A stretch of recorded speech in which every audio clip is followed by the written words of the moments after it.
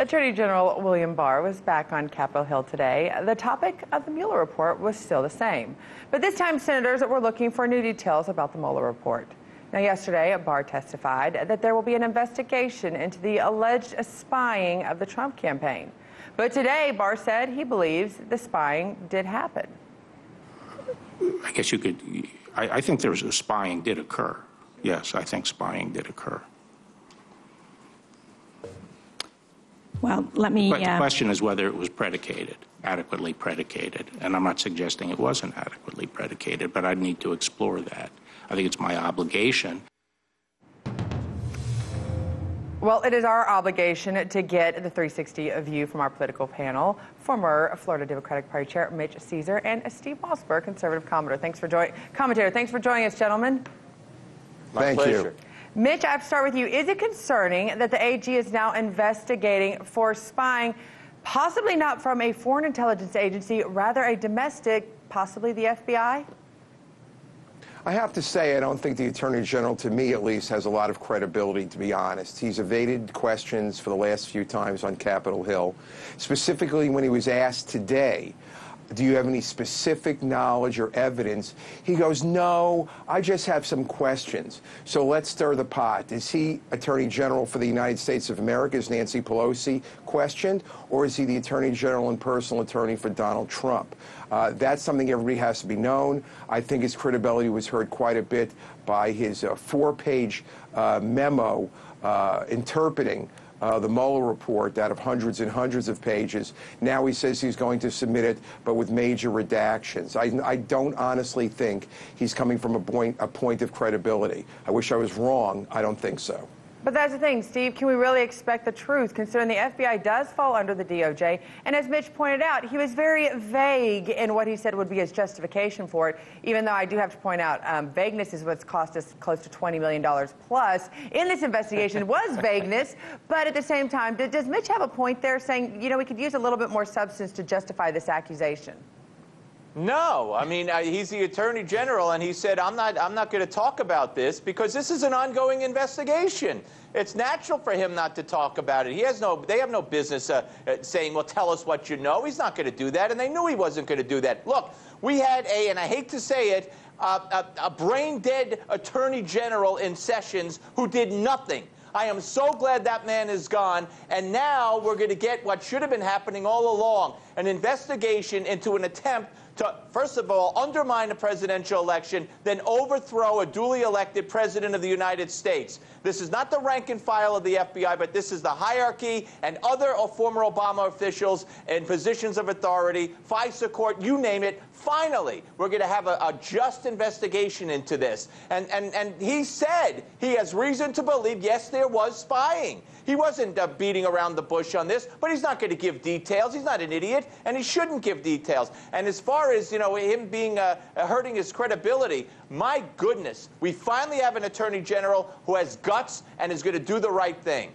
Okay, but now here my question for you, Mitch. Do you think you're going to see Steve just as passionate if it comes out, sort of like what the the Mueller the Mueller investigation came out with nothing there? If he comes back and says, you know what, actually I don't see spying from the FBI, as so often has happened once people start investigating their own and realize there's things they just can't come back with, and that's hence why we have the redactions right now. Do you think you're going to still see Republicans just as big and, and jumping on the on the train of Bob Barr? First of all, he did not say it was an ongoing investigation. His exact phrase was, I have some questions. So this is vintage Donald Trumpism. Drop a bomb, see what happens. There's no proof of that. Perhaps we'll know later down the road. But there also is a question if there was a watching of the campaign, not spying, that's nonsense. The question is, and I can tell you as a lawyer, was there probable cause? What information they base it to look at the campaign? Listen, they can complain and say this is insane, but meanwhile, through the uh, Federal Southern District of New York, there's ongoing investigations. Through the U.S. Attorney's Office in Washington D.C., and through the numerous attorney, numerous uh, cases rather, in which a lot of the Trump circle have either pled guilty or have been convicted of crimes or ones that are coming up. This isn't all a great witch hunt, as he said. We can put up a panel of, of, of perhaps almost a dozen faces of people who have either been convicted or are going to jail or started jail or their trials are coming up. So guess what?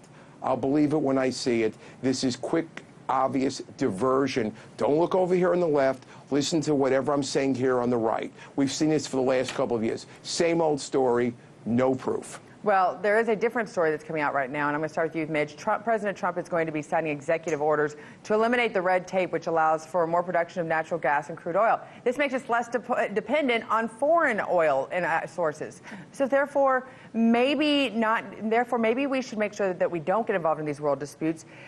Why is this not a good thing? In the fact that we might do the offshore drilling right outside of Florida, where you live. I live in Florida, specifically South Florida. I think it's an interesting thing because it causes a lot of problems for this administration. On an environmental issue like the uh, Horizon that uh, had the disaster in 2010 and oil boils rolled up on the beach, that affects not only commercial fishing, sport fishing, tourism, right. and there's always that danger. The problem is also politically, Florida is still a swing state. Right. And a recent poll by Quinnipiac showed that 64% of the people surveyed across Florida voters uh, are against oil or gas drilling, no matter how far out from the coast. So this prevents, pre presents rather a real political problem that could put the president in jeopardy of winning Florida. Right. Even Republicans are pro-environment. But the other quick point is that this might also be a head fake that occurred uh, when Rick Scott was up for election. The now disgraced Ryan Zinke went around saying uh, we're going to do it. And then uh, the president said, oh, I let Rick Scott talk me out of it. A little showmanship to help him during the campaign. Well, also, this may be a head fake. Well, Stephen, I hate to give you a I, short, I, ho short I hope it is. Well, that's the thing. Steve, I hate to give you a short answer to this, but I have to say, can Republicans say they want to do this and still look like they are conservationists and they don't want to just completely destroy the planet? Well, I, I, don't think that's the case. But Trump ran on Drill Baby Drill, which was started in 2008, and, and he won Florida. Elected. He's not.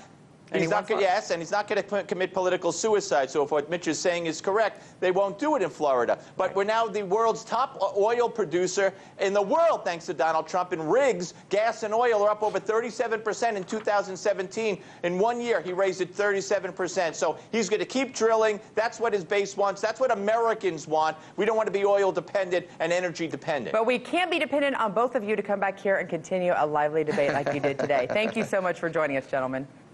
Thank you. Thanks, Scottie. Hey YouTube, thanks for checking out our channel. We hope you enjoyed the video. We have tons of content for you just like this. For more of RT America's one-of-a-kind news and analysis, be sure to subscribe and never stop questioning more.